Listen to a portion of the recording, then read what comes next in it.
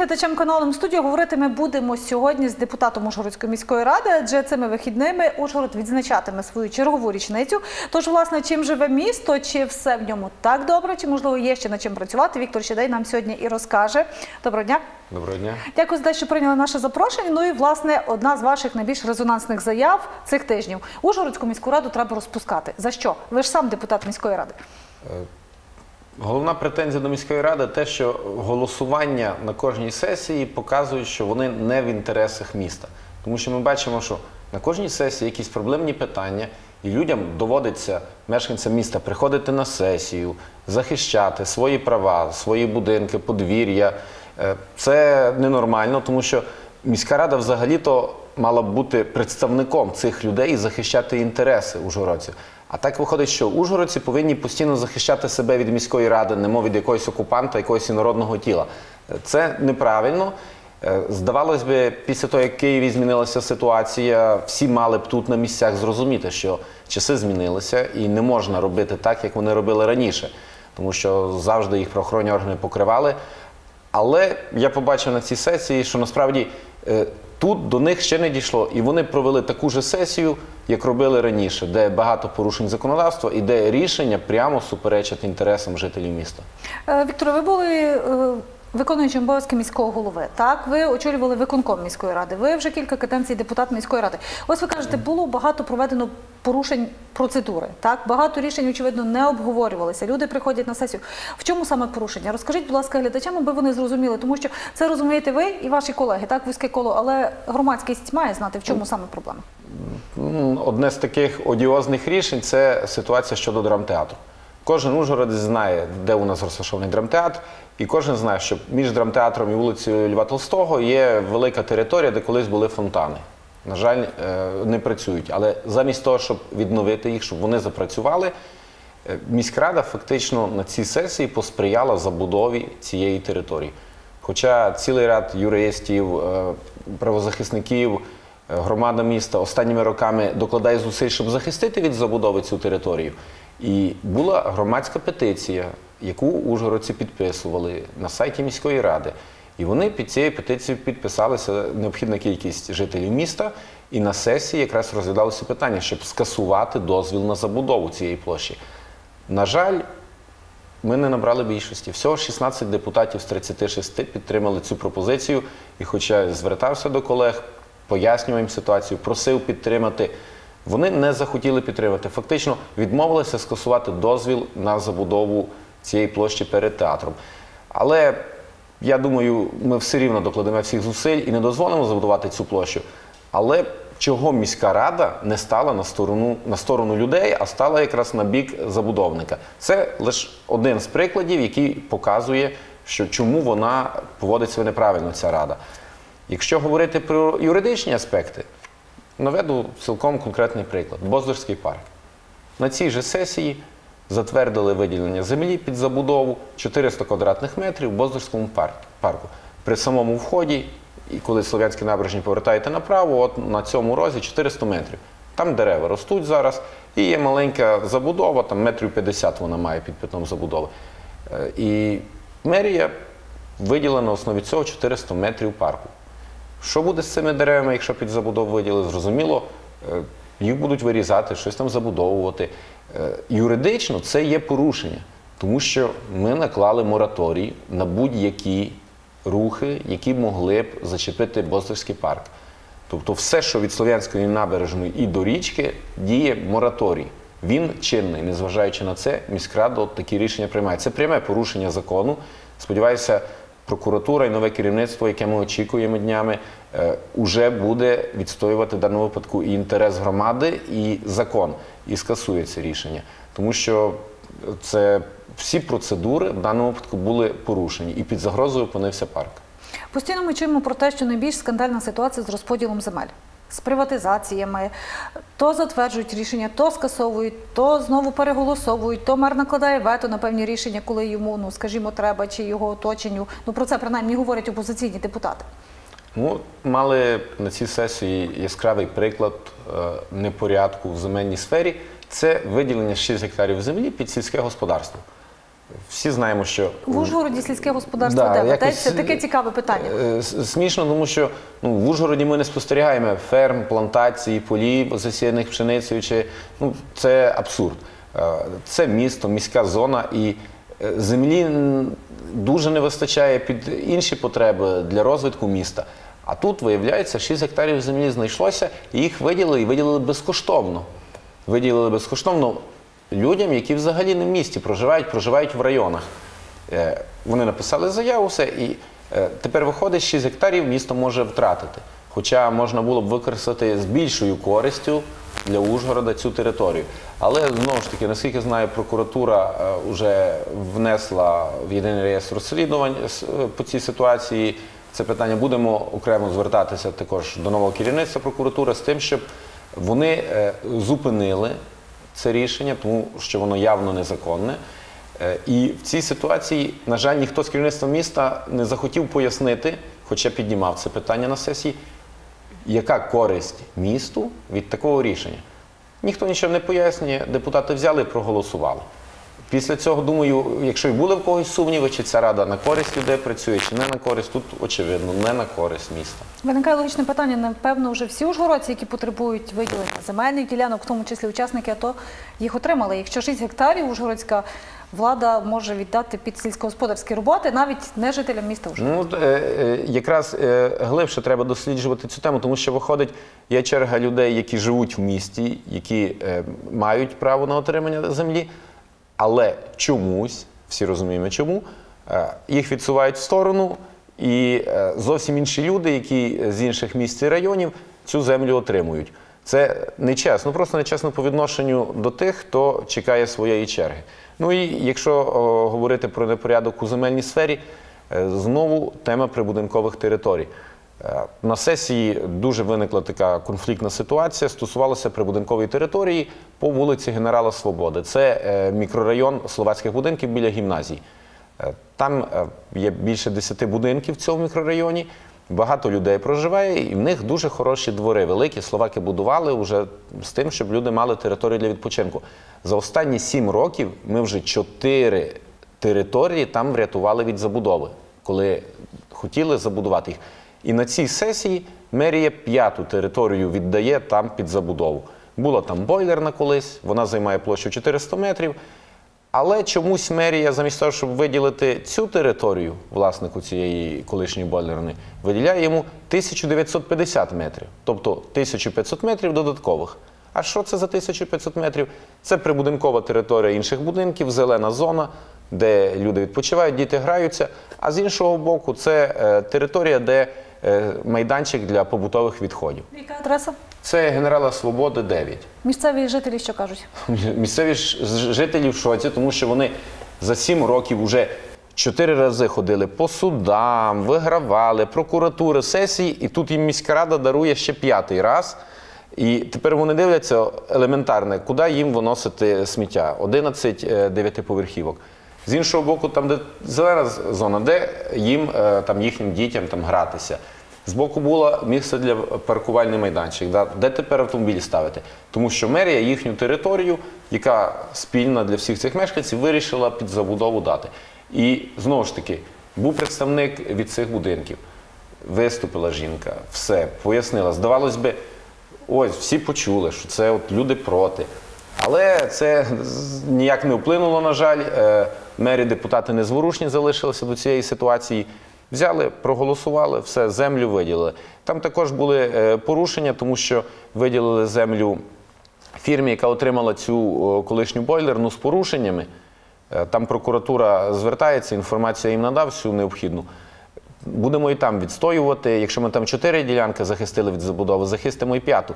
Лише виникає питання, чому громада міста має витрачати постійно зусилля, щоб захищати свої інтереси? Чого люди, які живуть в тих будинках, тепер мають відкладати свої справи, е, іти, чи пенсіонери, чи хтось з роботи відпрошується з дітьми і ходити по судам, як це доводиться робити, щоб виграти і скасувати незаконне рішення сесії міської ради. Згідно законодавства, навіть одного незаконного рішення міськради достатньо для її розпуску. А тут постійно міськрада приймає от такі незаконні рішення. І хочеться, щоб це питання нарешті е, вирішилося, щоб ситуація стала нормальна. Хто може розпустити Ужгородську міську раду? Адже ж депутати не підуть на те, що самі себе розпустити. Це якось буде не за їхніми переконаннями. Зрозуміло, що депутати не захочуть себе розпускати. Це може зробити Верховна Рада. І я розумію, що конкретно заради Ужгорода не будуть вони е, цього робити. Але є сподівання, що незабаром оголосять взагалі нові місцеві вибори по всій країні, щоб е, нарешті громади, міста, села могли обрати своїх представників, тому що ситуація бачу по багатьом містам аналогічна. І е, давно вже керівники втратили зв'язок з мешканцями, яких вони мали представляти. Просто вони вже забули для чого і хто їх обирав. І дасть Бог, це не буде тривати довго, ця ситуація, тому що якщо чекати ще рік, то за цей рік е, так понищать місто, що, потім дуже важко його буде відновлювати. А ми бачимо проблем дуже багато, що в комуналі, що в медицині, що в освіті. Е, Я сподіваюся, що ще цього року вибори відбудуться, прогнозують, що можливо на грудень, і ужгородці нарешті е, зможуть вибрати тих, хто дійсно буде їх представляти і захищати їхні інтереси. Добре, тоді таке питання. Адже ми бачимо, спостерігаючи за тим, як проходять сесії в інших містах, в тому числі і обласного підпорядкування, дуже рідко де можна побачити велику кількість людей на сесіях, як в Ужгороді. Так в Ужгороді громадськість завжди присутня, завжди кожен має право виступити, задати питання. Це свідчить очевидно про демократизм чи про що це свідчить? Тому що кажу, на інші сесії люди ходять в інших містах менше. Це свідчить в першу чергу про е, активність громади, тому що е, були спроби і в Ужгороді не пропускати людей. Ну але якщо прийшло 30 чоловік, то хто їх не пропустить? Там пробувала муніципальна поліція заважати, там ще щось. Але люди просто взяли одного разу і показали, що їм ніхто не завадить, вони все рівно прийдуть і прийшли. І після цього просто вже всі спроби покинула мерія якось не пропускати їх. Навіть оці турнікети вони наставили. Е, Коли вони просто зрозуміли, що люди або поламають ті турнікети, або не їх відкриють, то тепер на сесіях завжди відкривають, всі вільно заходять. І думаю, це правильно, тому що е, хай люди бачать, що відбувається. Бо дуже часто е, мешканці більше знають про те, що робиться в Верховній Раді, ніж у міській. А там якраз міській е, приймають рішення, які безпосередньо стосуються інтересів цих мешканців. А чим більше мешканці втягнуті це все, цим, чим більше вони бачать на свої очі, вони роз, розкажуть далі знайомим, друзям. І тоді вже місто буде інакше ставитися до місцевих виборів. Буде розуміти, що там, обрати депутата міської ради це не просто так. Це має бути та людина, яка дійсно їх е, не зрадить, буде з ними постійно на контакті, буде їм допомагати. Тому що я був сам свідком, там мешканці прийшли по прибудинковій території одній з вулиці Минайської, прийшли на сесію і бачили, як відбувається, бачили, як реагують депутати. І потім ми робили збори. І жіночка, там пенсіонерка, вона всім сусідам розказує, що виявляєте, я прийшла, я їм кажу, що не можу, а їм все рівно. І в неї вона до того часу не розуміла, як депутати ставляться до людей. Вона це побачила і вона розказала іншим. І якраз е, сусід сусіду завжди Сарафанне повірить. радіо найдієвіше, як Так, завжди. це найдієвіше, тому що коли ваш знайомий описує, як це все було. е, За це це найдостовірніша інформація. І зрештою, саме тому такі низькі рейтинги і мерії і міської влади серед ужгородців, тому що за ці чотири роки сотні і сотні, якщо не тисячі людей, побували на сесії, побачили наскільки там лицемірно, цинічно приймаються рішення, і це дуже сильно впливає. Я, я за те, щоб на всі сесії, міські ради, районні, сільські, щоб мешканці є можливість прийшли. Хоча б для самоосвіти, хай розуміють, що як відбувається, і вже будуть більше знань мати, там кругозір ширший буде. Але знаєте, в чому проблема? В тому, що сесії зазвичай, хоча згідно закону, мають опубліковуватися так про скликання сесії щонайменше за 20 днів. Сайти міських, я вже не кажу про районних селищних рад, практично на це не працюють. Дуже рідко є одиниці, де є насправді інформування населення. Ну але це тема зовсім іншої розмови. Одне із канальних питань знову ж таки це було питання по Радванці. Так там знову ж таки передача приміщення, яке йшлося про те, що підозріло дешево його передають. Та е, там, е, ну ну, правильно, не по Радванці, це по шахті йшло, але також вийшло, що хотіли одні із ромських організацій, і не те, що дешево, а взагалі безкоштовно передати приміщення площею 140 метрів. Це приміщення, яке під комерційні цілі може використовуватися. І депутатів зацікавило, чому е, саме ці організації там навіть прямо поставили були питання, що чи не пов'язано це з тим, що на останніх виборах до Верховної Ради на тих дільницях, де проживають компактно е, ромське населення, там якось дуже дивно голосували люди, тому що чомусь саме на тих дільницях е, переміг мер, а на інших дільницях він е, в кілька разів менше голосів понабирав. І там один з депутатів прямо і поставив це питання, чи не є взаємозв'язку, що тепер громадські організації безкоштовно приміщення. Яка була відповідь? Взаємозв'язок є? не захотіли пояснювати. Але я е, звернув увагу всіх присутніх, що мова тут навіть не йде про якісь національні моменти, тому що всі громадяни перед законом рівні.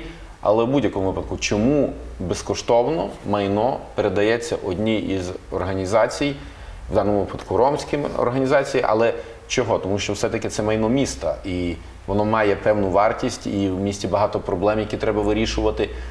Е, Ну, відповіді не отримали, але це питання не пройшло. Не вистачило кілька голосів, тому що е, дуже вже, е, можливо, навіть і частина депутатів відчули, що мешканці міста будуть дивуватися і дуже негативно сприймуть цю інформацію.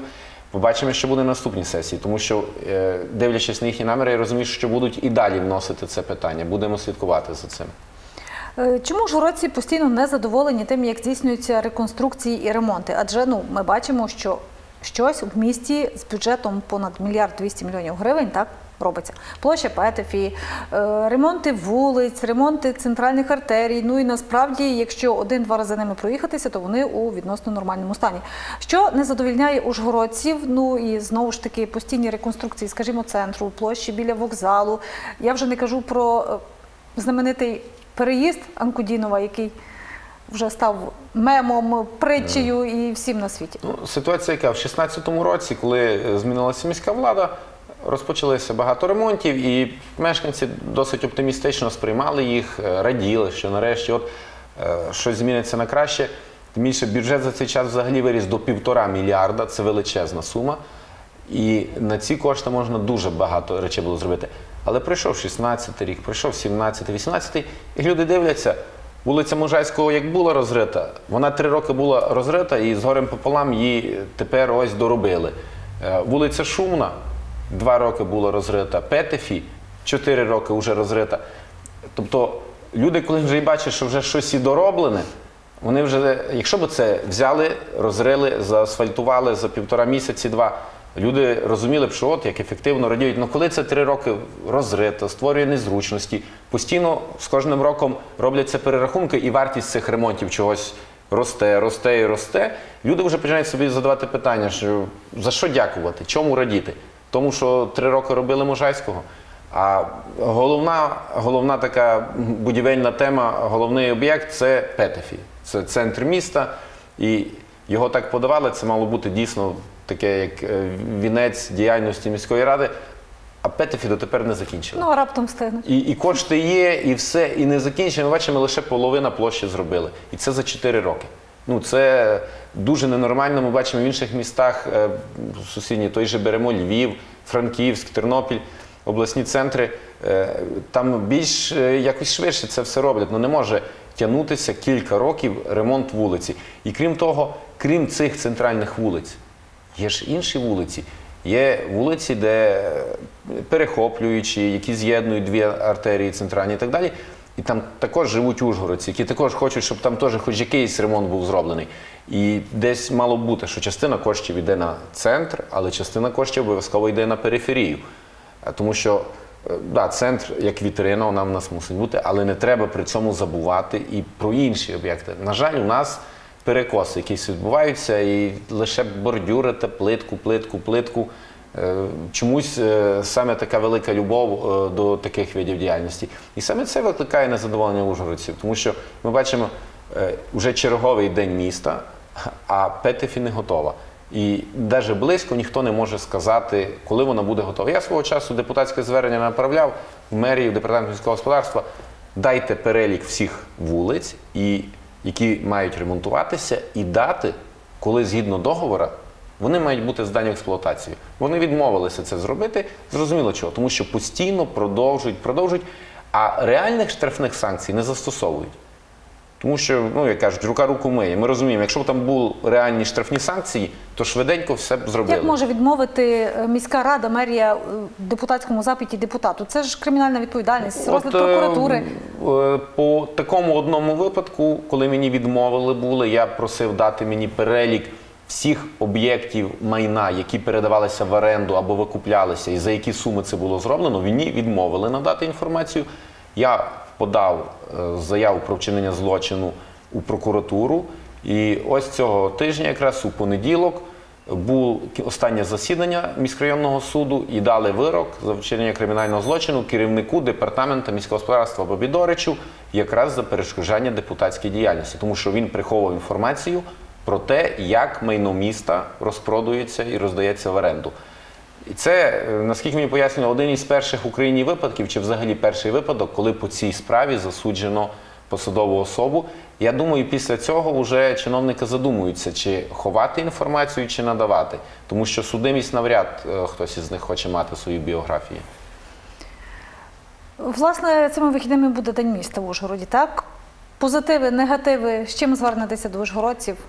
Ну, ужгородців е, хочу звернутися е, з, простим е, таким побажанням, незважаючи на різні такі моменти труднощі, складнощі, з яким наше місто, на жаль, мусить до сьогодні стикатися, прохання все рівно не опускати рук, дивитися більш з оптимізмом вперед в майбутнє. Я сподіваюся, що все рівно, незважаючи на все, що нам заважає, ми зможемо об'єднавшись, доклавши спільно зусиль, перетворити наше місто на таке, де людям комфортно і зручно буде жити. Я переконаний в цьому, ніщо не заважає нам е, це зробити. В нас є все для цього.